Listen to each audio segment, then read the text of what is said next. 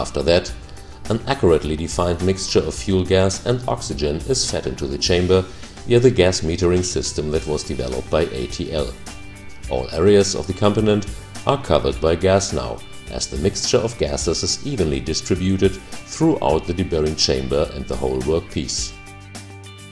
Due to the subsequent ignition, temperatures of 2500 to 2300 degrees are generated for a short time. This leads, particularly at inaccessible and internal areas, to a complete combustion of all burrs within 20 milliseconds, because they reach their ignition temperature and react with the excess oxygen. The complete process runs automatically.